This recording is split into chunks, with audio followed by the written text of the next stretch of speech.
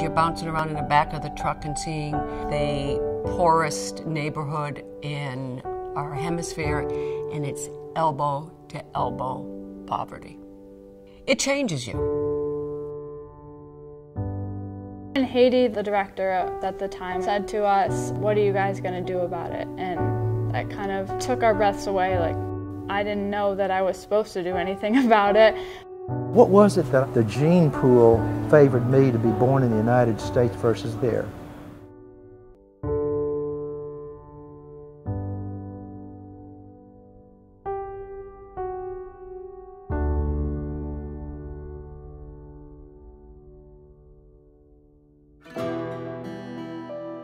We saw kids that were so sick, too sick to even go to school, seeing that water was the base of a lot of this. We got back, we said how many families were in the villages that we saw. Can we help all of them? To know that I'm involved in something that's breaking that cycle and allowing a child to go to school is, is why I do it.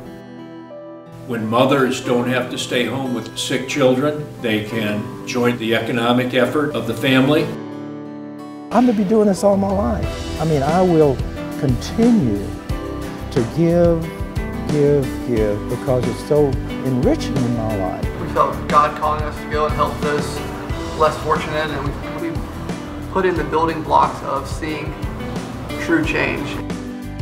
Now we can come back and look at things in, with a different light.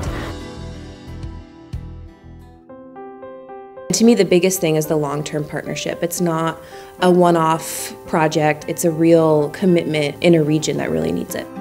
I think what makes us stand out is we're a boots on the ground organization where it's the staff in these countries that does the work. There's follow up. Pure Water for the World trains people in the communities to go back and make sure that the filters are still being used correctly. They get buy in from the community that they're serving by having um, people pay some small portion of the filter costs. They love what they do because they're part of that community. They're local. I'm local, and we want to help our country to develop. We don't want to be called a third country anymore. We want to go out. It's not only about the filter and the service that we provide them, but it's also a lot about the training and education. We've gone from installing filters to designing and building latrines and teaching communities how to build latrines, rainwater harvesting systems. We're educating water boards on how to sustain the implementation of the program, training teachers how to incorporate health and hygiene education into their regular curriculum. What impacts me the most is to see the effectiveness of the community members once they're given the tools to implement programs that they know are going to save lives in their communities. It's less just people writing checks and delivering it and saying, okay, I feel good. This isn't a gift, this is an investment.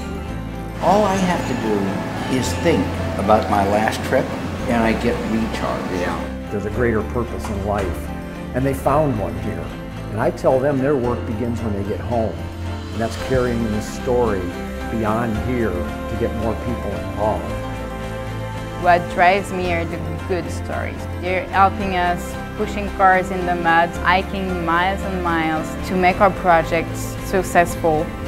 Volunteering with us makes you understand how important water is to them and how important is your work. And those are the stories I want to tell.